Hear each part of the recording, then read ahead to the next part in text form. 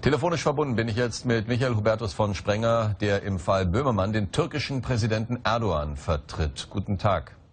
Guten Morgen. Herr Böhmermann hat ja bereits angekündigt, die Unterlassungserklärung nicht abzugeben. Wie geht es jetzt weiter?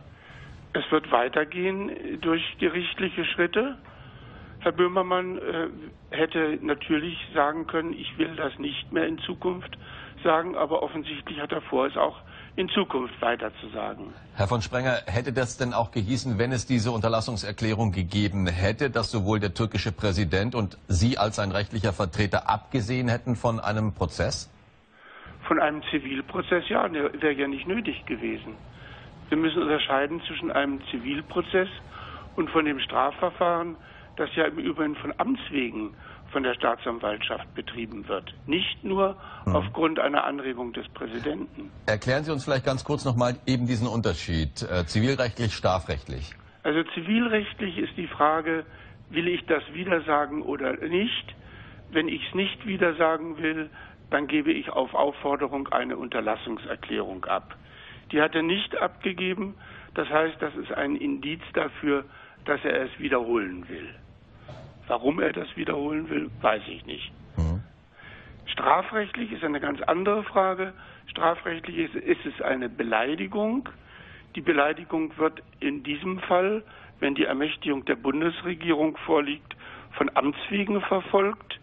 Wenn die Ermächtigung nicht vorliegt, wird sie aufgrund des Antrags des Präsidenten verfolgt. Mhm. Wenn notwendig, so haben Sie gesagt, so werden Sie zitiert durch alle Instanzen. Was heißt das konkret? Das hängt davon ab, was Herr, äh, Herr Böhmermann macht. Will er, will er irgendwann mal sagen, nein, es tut mir leid, ich, ich, ich will das nicht mehr sagen, dann ist die Instanz beendet. Mhm.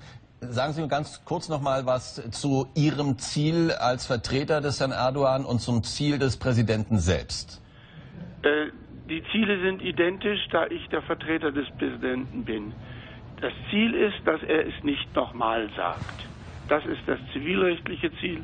Das strafrechtliche Ziel ist, dass es strafrechtlich geahndet wird, wenn der Staatsanwalt darin eine Beleidigung sieht.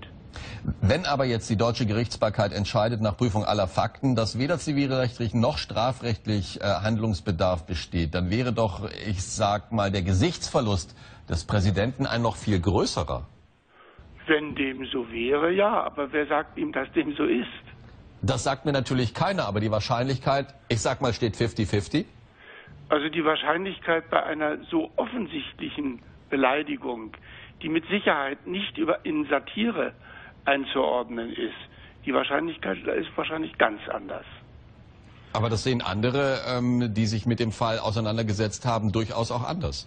Äh, gibt durchaus Leute, die sagen, das sei Satire, aber da verkennen sie das Wesen von Satire.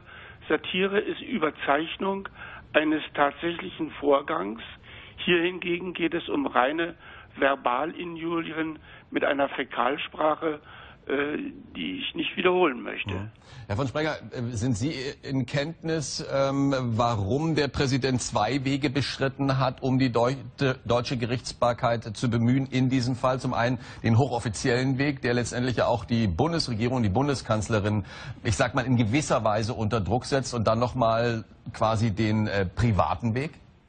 Also den ersten Weg hat er nicht beschritten, sondern hat die Öffentlichkeit beschritten äh, indem sie eine Vielzahl von Strafanzeigen dem Staatsanwalt zugeleitet hat.